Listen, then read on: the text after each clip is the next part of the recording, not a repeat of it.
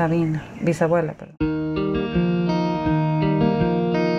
En honor a sus orígenes indígenas, la artista salvadoreña Frida Larios expresó su amor por la cultura a través de un libro que cuenta una interesante historia inspirada en los hechos que ocurrieron en el sitio arqueológico Joya de Serén, conocido como la Pompeya de América, que fue nombrado por la UNESCO como Patrimonio de la Humanidad, está ubicado en el municipio de San Juan Opico, departamento de la Libertad, y fue destruido durante la erupción del volcán Loma Caldera la comunidad sepultada por un volcán en erupción. Joya de Serén refleja las raíces de las familias salvadoreñas de la actualidad.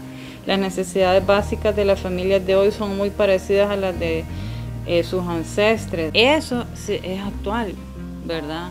Y mientras aprendamos de que todavía tenemos un sitio que tiene eh, desde 500 años después de Cristo, o sea, 1521 años de existir, eh, entonces vamos a saber de dónde venimos. Si no sabemos de dónde venimos, no sabemos quiénes somos.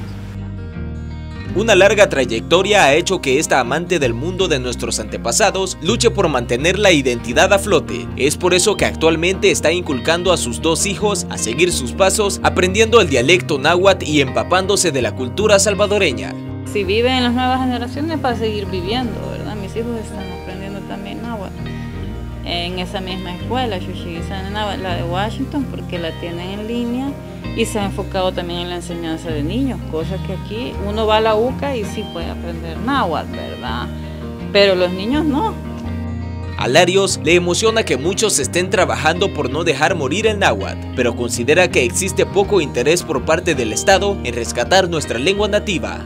Regenerar el, náhuatl eh, es una cosa maravillosa, Em, eh, porque se están, pues se, supone hay más o menos ahora 400 o más neonahuablantes, sumamente precario el apoyo. Verdaderamente puedes visitar, por ejemplo, a Nancy Anastasia, una de las grandes profesoras eh, de náhuatl, junto con Nancy Sixta, eh, hicieron un llamado al presidente y, pedirle 300 dólares al mes al menos porque eh, pues ellas viven en la extrema pobreza a pesar de ser conocedoras de un saber único. Esta salvadoreña también usó sus dotes de artista gráfica para darle un toque único a este libro especial y ha puesto en práctica sus conocimientos en cultura fuera y dentro de nuestras fronteras. Este es un informe de Ricardo Grijalva para la prensagráfica.com.